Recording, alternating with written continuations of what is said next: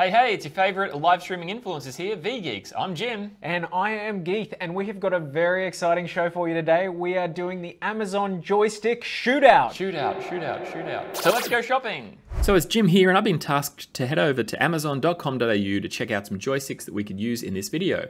So here's the wish list that I've created. I've gone through and I've selected some awesome joysticks. So let's take a quick look at them now. Firstly, we have this one here, 26 bucks, 66 ratings, four and a half stars. So I'm pretty confident with this one. It also shares a stark resemblance to something that might rhyme with Best Box. So I'm very excited about this, especially these LEDs here as well. So I think the chances of this one working are actually moderately high. This one here, we have the arcade joystick. Now I really like this one because there's absolutely no branding. There's no ratings, it's just $49.95. We'll see if this one works. Next we have this retro pack here. So I'm pretty excited, 440 ratings, four and a half stars, 25 bucks for two of them. We'll see how it goes. It's got a lot of ticks down here, which makes me very confident in it. And I'm also very excited about this image here. It looks like it's maybe plugged into a laptop. It doesn't show you that, but you have to infer that it's plugged into the laptop and it actually works. So I reckon there's a moderate to high chance that this one will work. Next we have this classic one here from the same brand. It's an N64. It really reminds me of my good old days and I'm excited about doing this as well. Look at this, totally looks real. And uh, yeah, a little bit dodgy on the ratings, 28, 4 stars. 20 bucks, I reckon there's a medium light chance that this will work. So I'm probably most confident about this one here. We've got this one on amazing special here, 26% off the Logitech Extreme. Pretty excited about this one. I reckon that there's a almost certain chance that this will work properly. So I'm, I'm excited about this one here and should probably do the best job. And finally, we have the Thrustmaster. Uh, I don't know what that's all about, but that's what I'm going with for this last one here. It's got plenty of ratings, only four stars, so I reckon I'm a moderate to high confidence on this working properly. So we'll have to find out and see how well the Thrustmaster goes.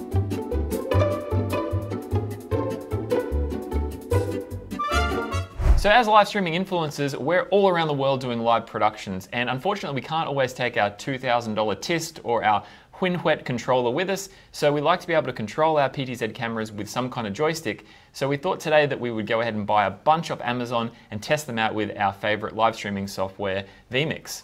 So the first one that we're going to try is the N64 USB game controller, which Came in at uh, the cheapest price. It was only $20.99 in Australian dollars. So that's pretty exciting. Let's give it a go. All right, and at the end of every controller, we're going to give you a rating. We've got the three Fs, functionality, flair, and of course, the most important thing, finger feel. So let's crack it open. Ooh. Yeah, we go. Bubble wrapped. It looks, it looks legit. I'm gonna say that. It looks, wow, it looks surprisingly legit. The color's right, um, I won't comment on finger feel just yet. Oh. We got an extra one. A spare. Okay, so we've plugged this in and we've turned on vMix and we've made sure that we've done it in that order because for joysticks to be recognized in vMix, you need to make sure that you've plugged it in and it's working in Windows before opening vMix. Now it's time to try and set up these buttons and joysticks. So let's go up to settings. We've already added our PTZ camera mm -hmm. uh, for our testing. We've connected it. Sony VISCA over IP for this one.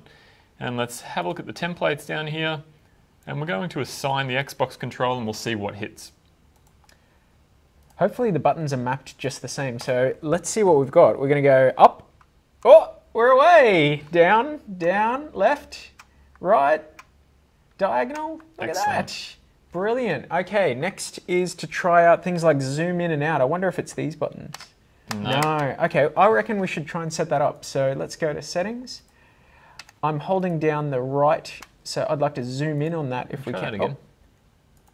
Yeah, it doesn't seem to be on here at all. Yeah, so we must need to map that. So, so we need to go to the zoom in. Yep. Edit. We'll change that to the hold down. Perfect. Zoom, zoom, out. out. Great. And for the zoom stop, we're going to have to make two zoom stops. So one for the left that will stop that motion. Ah, oh, sorry. And there you go. Yep.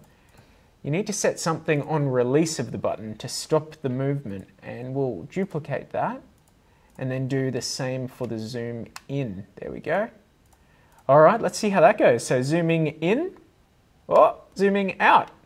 Hey, look at that. Very good. Okay, so I'm going to rate this. All right. I'm going to go firstly with the flair. I'm going to start there and I really like the look of this. I think it looks cool and retro. I think it's super useful, and so I'm going to go with a 9 for that. For the functionality, so far, I'm pretty impressed. Uh, so long as you plug it in before starting our vMix, away it goes. It's perfect. So I'm going to go with a 9 for that too. Seems to be fully functional to me. Can you and just push some of the other buttons, make sure they all work? I can. Yep. Just not that center one. Yep. Yep. Yeah, they all seem yep. to work. Start. Start. Yep. Oh, we've even got a start button. How Everything is that? All right, so fully yeah. functional. Yeah, fully functional. Um, so did I rate that? Yeah. yeah, nine. And what's the last one? Uh, finger, finger feel. feel. So the joystick, really good. All of the other buttons, kind of rubbish in my opinion. So I'm going to go with a seven. All right, I'm going to go with this one. Uh, functionality, I'll give it a nine. Uh, flair, I'll give it a uh, nine and a half. I do like the NC. T tell me about it again. solid as a rock. So uh, we like that about it. And uh, finger feel, it has an all right finger feel. Uh, I'm going to give it a seven. Great.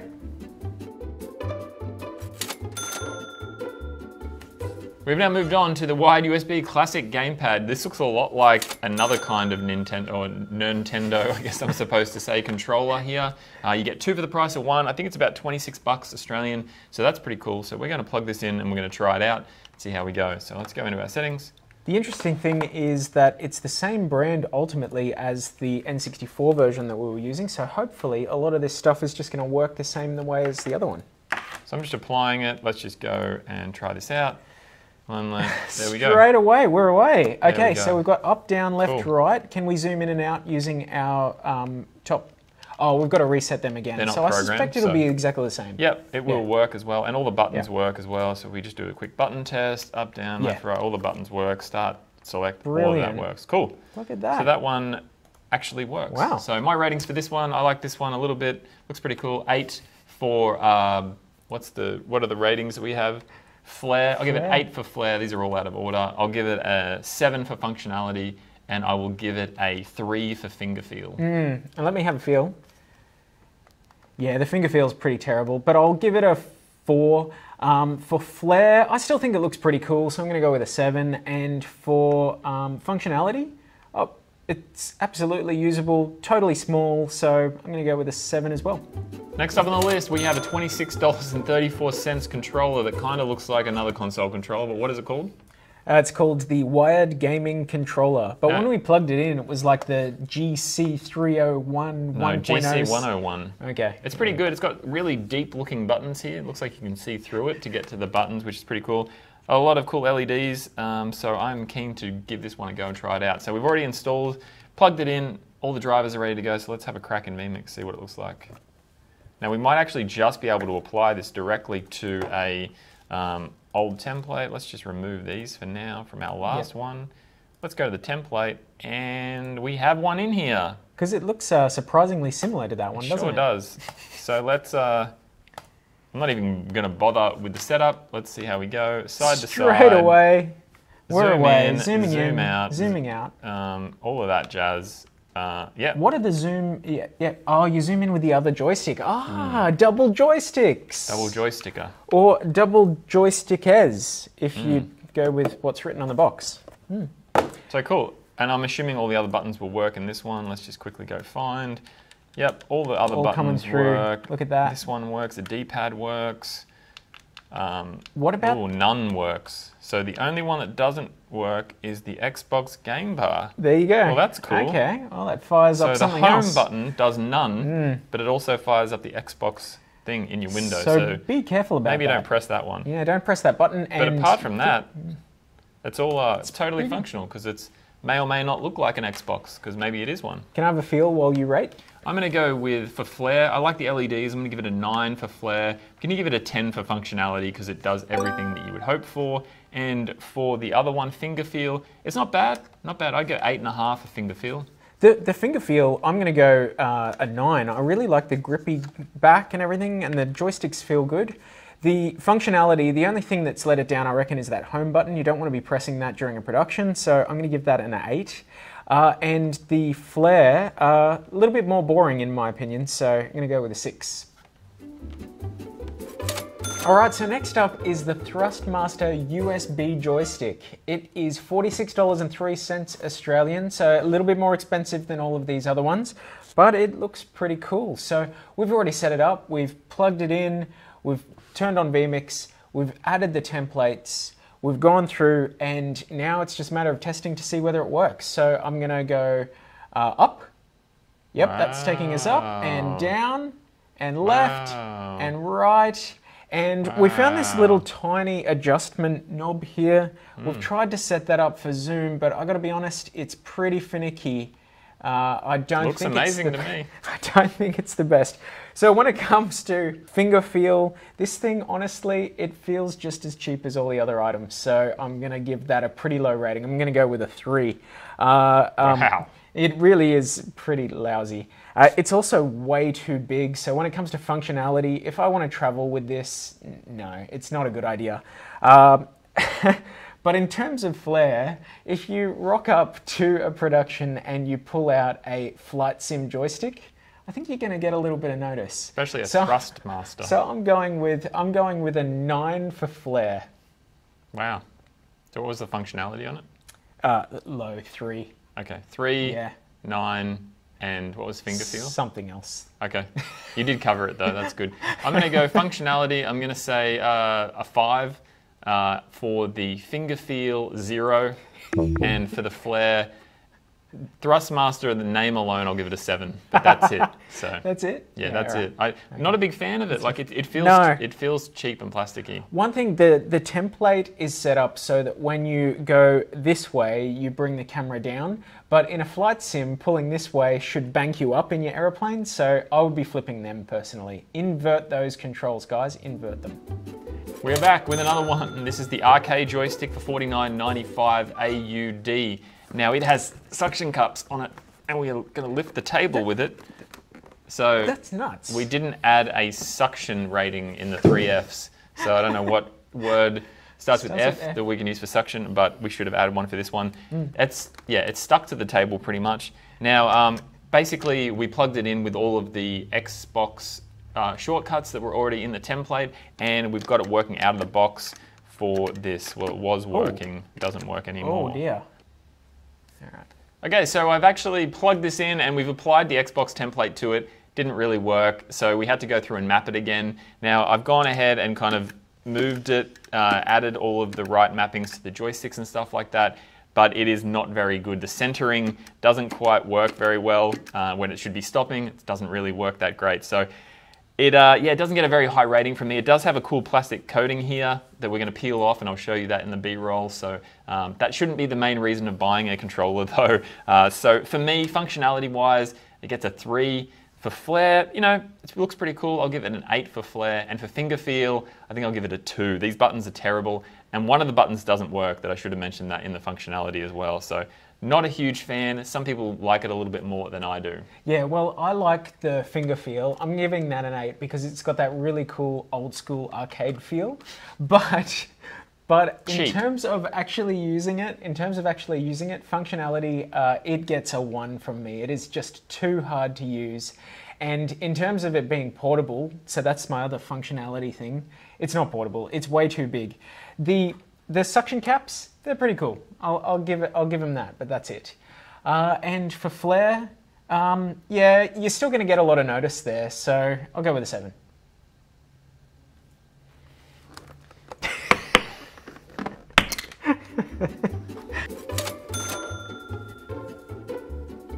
Okay, so we've made it to the very last controller, and it is the Logitech Extreme 3D Pro Precision Flight Stick.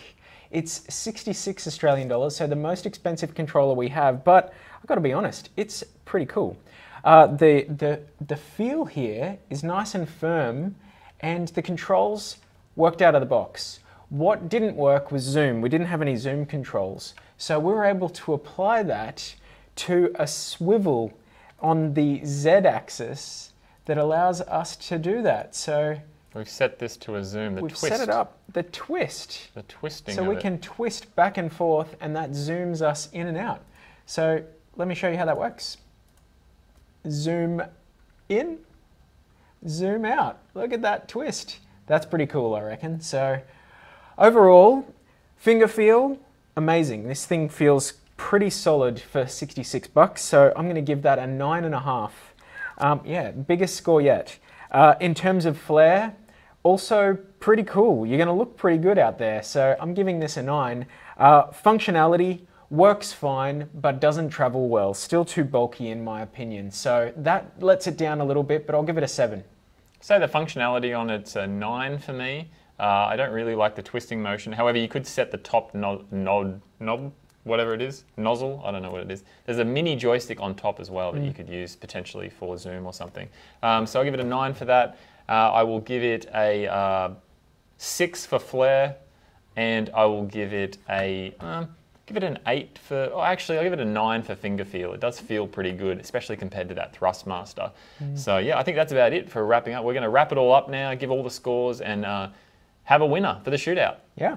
So we have a very close competition here. The Thrustmaster with 27 points, the arcade joystick, which is garbage, 29 points, the SNES 36, and in bronze place we have the Logitech. And it got 49.5 points, a pretty amazing score, but to beat that, we had our top runners. We had the N64 controller and the Xbox controller, both of them pulling off 50.5 points. Amazing. So now we have the expert analysis to tell you which one we thought was the best. Take it away, Geith. All right, well, I'm going to say that the N64 controller is still better than the Xbox One. And the reason is I've got 10 buttons here, plus a D-pad, plus a joystick, and no buttons that don't work, and no buttons that send me out of vMix, like you do have with the Xbox. But can you use it in the dark? No. Oh, well, by feel, sure. I, I also agree with you. I hate to say it, but I do. Ha- I will agree with you. Although this is a fully functional Xbox controller, um, and it's you know templated in the vMix program and stuff like that. Uh, I do like the way that the N64 looks. Now you do get a very similar number of buttons here, uh, but again you do have that home key which will bring up the Xbox manager in Windows. So you just don't want to press that, which is probably the main issue that I would have with it. But it is very cool and it is functional and it's way cheaper than buying a real one. So, you know, if you were looking for that, that might be a pretty good option for you. All right, well, with all that said, thanks for joining us. Here's our winner, and we will catch you on the next one Amazon Joystick Shootout. Shootout, shootout, shootout.